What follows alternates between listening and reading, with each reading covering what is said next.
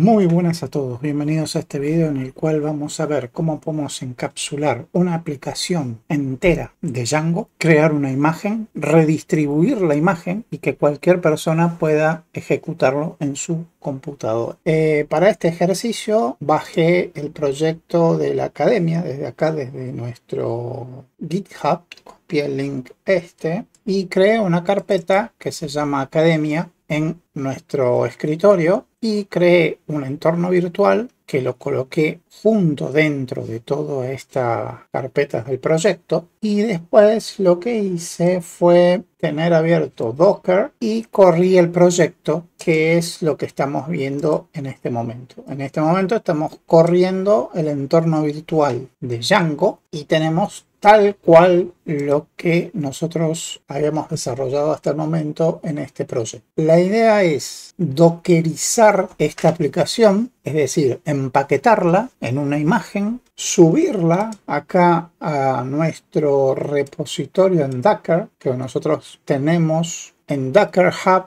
tenemos nuestro propio sector de las imágenes que vamos subiendo y luego vamos a bajar esa imagen, la vamos a bajar Vamos a hacer que la bajamos en otra PC. Si quieren después agregamos un video de bajar esa imagen desde Linux y vamos a ver cómo funciona esto. Hasta este momento todo funciona normal. Entonces vamos a parar el servidor y vamos a volver al Visual Studio Code en donde vamos a empezar a trabajar con esta carpeta. Yo en este momento tengo todas las carpetas del proyecto, Accounts, Core, Django Roles, eh, después tengo la carpeta env, tengo la carpeta media, la carpeta static y la carpeta templates y tengo mi base de datos de SQLite y mi requirements.txt. Para yo dockerizar una aplicación necesito tres archivos. Una aplicación de Django. Necesito el Dockerfile, el dockercompose.iml y voy a necesitar el requirements.txt que aquí ya lo tengo. Estaba dentro de nuestro GitHub. Está acá el requirements.txt. Está acá es esto que está acá. Entonces eso lo tenemos resuelto. Me quedan crear esos dos archivos y vamos a crear un cuarto archivo porque en la imagen yo no quiero incluir, por ejemplo, esta carpeta env, que es la de mi entorno virtual. Esta carpeta env no quiero que suba a mi proyecto. Entonces vamos a crear el Dockerfile, vamos a crear el Docker Compose y vamos a crear el cuarto archivo que es el punto Docker Ignore. El Docker Ignore para que en el proceso de subir el proyecto no me copie la carpeta env, necesito colocarle un asterisco barra env.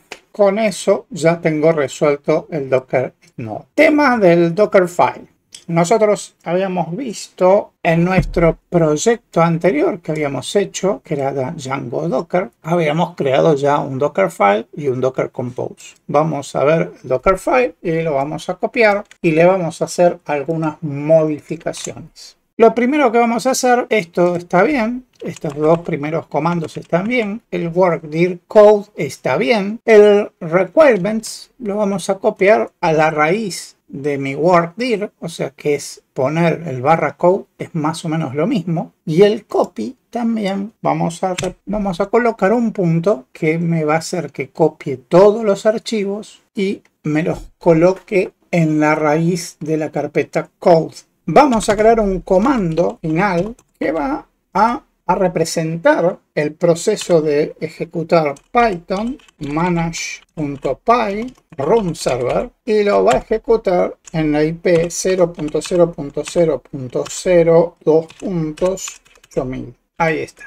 Bueno, hasta ahí estaría bien. Lo que vamos a agregar acá, un paso previo, vamos a hacer un expose del puerto 8000. Vamos a hacer de que el puerto 8000 esté pura y exclusivamente apuntando a este proceso. Ahora vamos al Docker Compose. Y vamos a volver al código que habíamos creado. Vamos a copiar todo este código y lo vamos a pegar y lo vamos a reorganizar. Ya habíamos hablado de que la versión no era necesario colocarla, así que la voy a eliminar. Servicio de base de datos no lo voy a necesitar porque la base de datos que vamos a usar va a ser la propia de BSQLite 3. Entonces el pgadmin tampoco lo vamos a utilizar y vamos a tener el servicio web que lo vamos a cambiar por app. Y acá sí vamos a hacer algunos cambios. Estas dos ítems del environment y el depends on no lo necesitamos. Y lo que vamos a hacer es crear acá una variable o una configuración más que vamos a hacer nombre a la imagen que va a hacer uso este servicio y en la imagen va a ser mi nombre de usuario de Docker Hub, este es mi nombre de usuario de Docker Hub, y el nombre de la imagen. La imagen va a ser academia-app, dos puntos, latest. ¿Por qué pongo este nombre? Porque cuando yo cree la imagen, cuando yo construya la imagen de este servicio, de esta aplicación, voy a incluir mi nombre de usuario de Docker Hub. Este va a ser el nombre de la aplicación y el app este que está acá sale de la definición del servicio. Si yo hubiera tenido un servicio que se llame web, acá debería colocar web. Pero como vamos a poner, dimos app, app, le debo agregar la etiqueta, el tag latest. Bueno, con estos archivos ya definidos, con estos dos archivos definidos y con el doc ignore también definido y el requirement definido, me voy a ir a la consola, estoy parado acá, y voy a crear la imagen de mi proyecto. Acá en la consola, para construir la imagen, voy a hacer un docker build menos menos tag y el nombre de mi, de mi imagen que va a ser mnibor que es mi usuario academia app 2. latest y le agregamos el punto al final. Damos enter y se empieza a construir la imagen. Y ahí está, ahí terminó de generar la imagen. Si yo ahora hago un docker images va a figurar de que mi imagen es esta, el tag es latest y pesa 1 giga 22. Recordemos que acá adentro hay un Linux entero que a su vez empaqueta mi aplicación. Ahora, ¿cómo yo hago para subir esta imagen a mi Docker Hub? Recuerden que ustedes tienen que crear un usuario en Docker al cual le van a dar un nombre de usuario y la contraseña. Entonces, para subir la imagen, lo que primero tengo que hacer es un docker login. Yo ya estoy logueado en esta PC. Entonces cuando yo doy enter, verifica las credenciales en la PC y las corrobora y me dice que el login fue satisfactorio. Y ahora voy a hacer un docker push de qué? de mi imagen y mi imagen es esta copiamos el nombre y le vamos a agregar el tag latest y de esta manera empieza a subirse la imagen a mi Docker.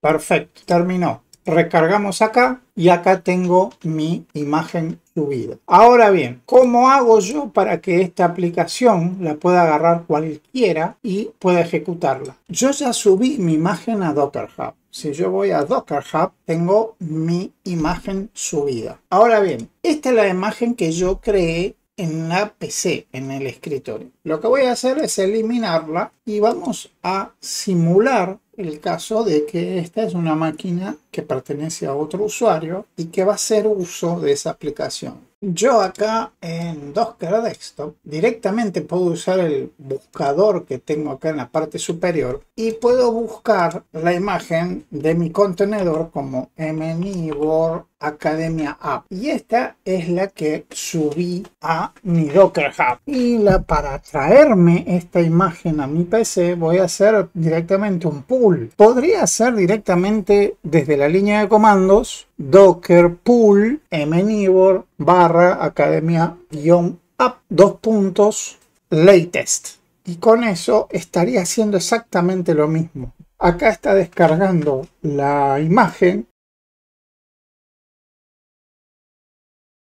Y ahí está. Esta imagen ya la tengo en mi máquina. Esta imagen ya está descargada en mi máquina. La otra forma que puedo bajar esta imagen es, vamos a eliminarla. Ahí está. Vamos a abrir una consola. Eh, vamos a abrir una terminal. Acá En la terminal vamos a hacer un docker pull y el nombre de la imagen mnibor barra academia app 2.latest. Ejecutamos y ahí empieza a traernos la imagen y nos va a aparecer en el Docker Desktop. Lo vamos a ver ahora.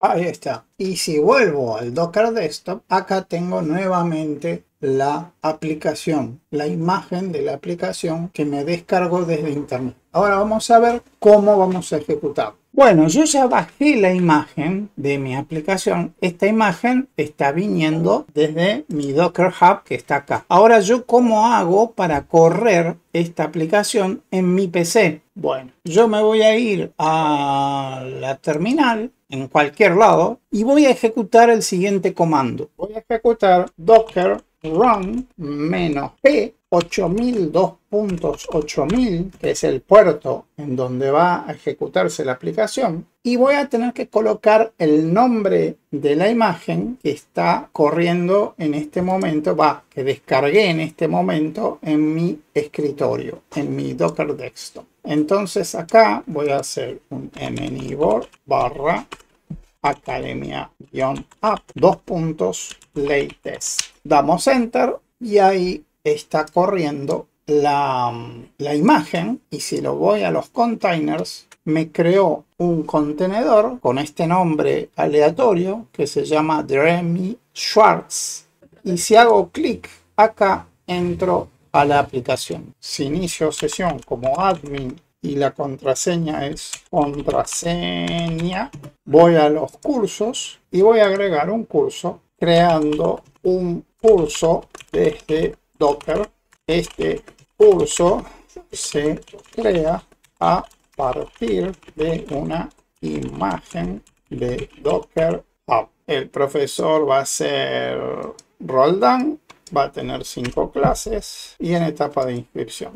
Guardo y ahí quedó el curso grabado. Ahora, ¿qué pasa si yo vuelvo a la consola, paro el servidor y quiero reiniciar nuevamente mi aplicación? Si yo vuelvo a ejecutar el mismo comando que hice antes, que también puede ser, que también funciona, si le pongo menos menos publish y le doy enter, también funciona, ahí vemos. Y si vuelvo a la aplicación, vuelvo a la carpeta cursos, reinicio, o sea, refresco la pantalla y veo que mi curso que creé antes desapareció. Pero ¿y esto por qué ocurrió? Esto ocurrió porque si vuelvo a los contenedores, este proceso de por línea de comandos de correr la imagen, lo que hace es me crea una nueva instancia de mi imagen que yo bajé. Entonces en este momento tengo dos contenedores. Fíjense que el último tiene otro nombre y hace 38 segundos que está corriendo y el otro hace, hace dos minutos. Por eso esta instancia nueva de la imagen está virgen como la imagen misma. Si yo quiero recuperar los cambios que yo hice en, en nuestra imagen anterior, yo tengo que parar este, este contenedor, eliminarlo porque no me sirve y volver a correr el que inicié por primera vez, que es este. Vuelvo a la carpeta, ahí está, voy a los cursos y acá tengo el curso creado desde Docker. Así que de esa manera yo puedo lograr persistir los datos de mi aplicación en la misma instancia en la cual yo me en la que yo inicié mi aplicación. Un detalle para ver es un tema muy interesante y que vamos a ver en el próximo video es que si yo acá en el contenedor, acá en Docker Desktop, si yo hago clic en este botoncito que dice Actions, me aparece una lista de opciones y una de las opciones dice View Files. Si hago clic en View Files, me va a aparecer